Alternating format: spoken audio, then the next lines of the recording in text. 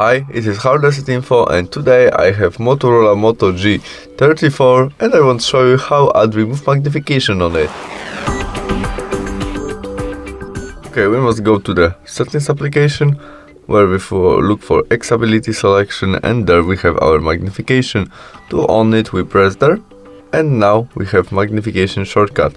We must switch on confirm by got it and we have our magnification shortcut which position we can easily change by tap there and switch on the screen. To zoom our screen we tap on our magnification shortcut and tap on our screen.